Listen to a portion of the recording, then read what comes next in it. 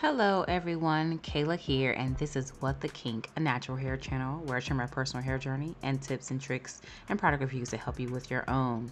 Today we are getting into curls, the Sea Moss collection, because apparently Sea Moss is really trendy right now. There are about three lines out that all feature this prominently as an ingredient. So let's get into it.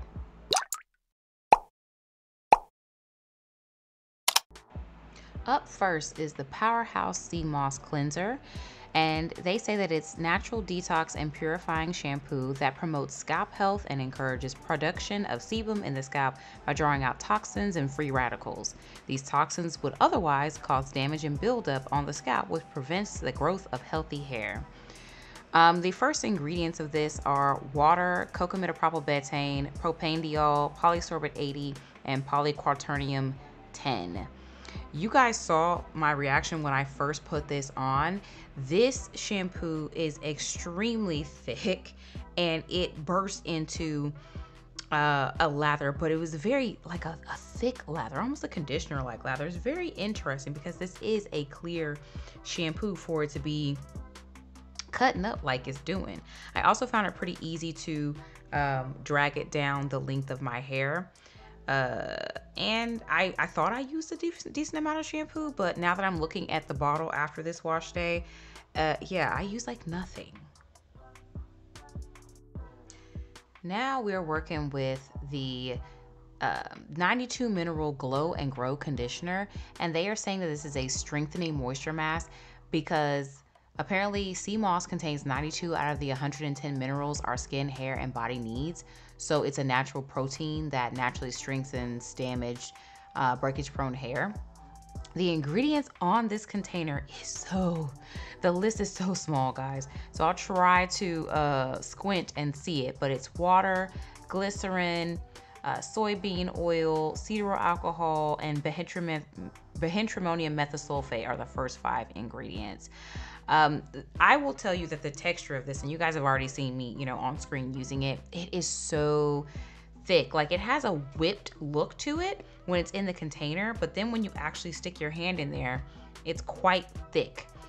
And so I found that it just wasn't reacting to water like I wanted it to. It was staying thick, like I was trying to add water like I normally do, and it just wasn't gliding through the hair like I would like it to do. Now, I will say that as far as detangling, it did its job. It did what it was supposed to do. It gave what it was supposed to have gave. Um, I, I was able to detangle my hair. It just wasn't like super crazy slippery. And while I was talking about the shampoo, I forgot to make a note about the scent. So all the products in this line smell exactly the same. They all smell like the avocado mousse from the green collection. Y'all remember the vegan green collection? I really liked the smell of the avocado mousse and literally every single product smells exactly like it. So um, as you guys can see here, I'm finishing up my detangling with my brush. I'm still able to get the brush through. It's just not as slippery as I would like.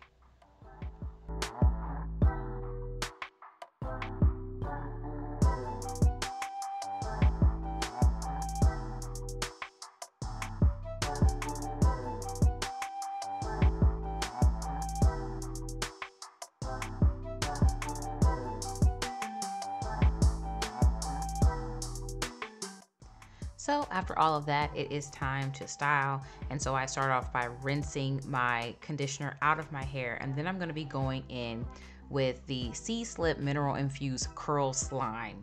I actually find it very interesting and cute that they called it slime. I'm not mad at that at all. it gives the aqu aquatic feel that they were going for. Um, anyhow, guys, they are saying here for this one that silky, shine boosting, vitamin infused curl jelly that revives dull and dry hair, defines and moisturizes curls with a medium hold. So this is not already upfront, it's not going to give as much hold as the stylers that I typically use in my hair. Um, and the ingredients that they have on here, it's a very short ingredients list for the curl slime. There's not that much in here. So I am gonna go ahead and just do the whole ingredients list. And then I wanna make a point about the directions.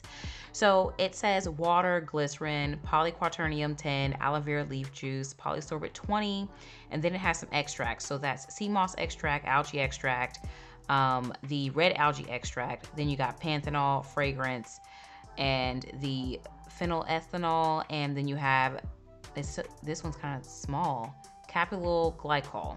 All right, so the directions are very interesting.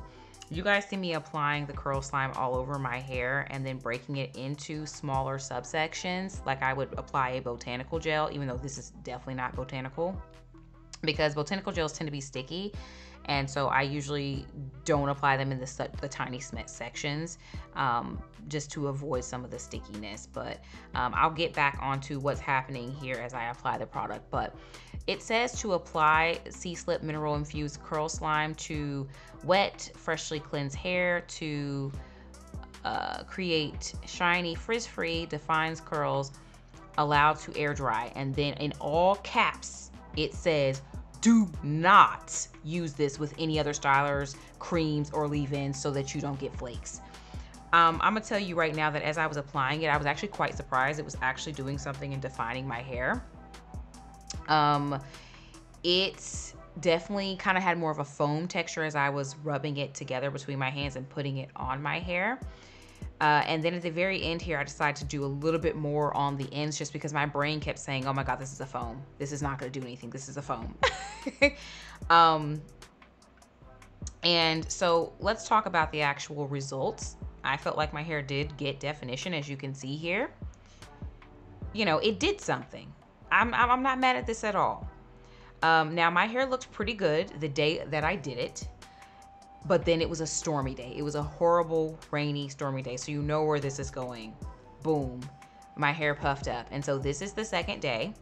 I'm not mad at it, y'all. It is pretty, it still got definition. Ignore the fact that I need a haircut, but it did get de decent definition. It did do the medium hold that is promising, but I will say that my hair is sticky and kind of heavy and lazy. So, I am not mad at it. I am not mad at it at all.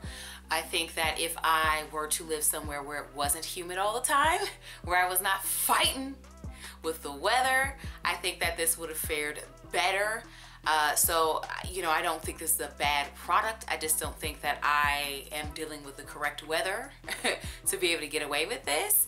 Um, and perhaps maybe even using a secondary product with it to try to battle the humidity would really have popped this thing off to the next level.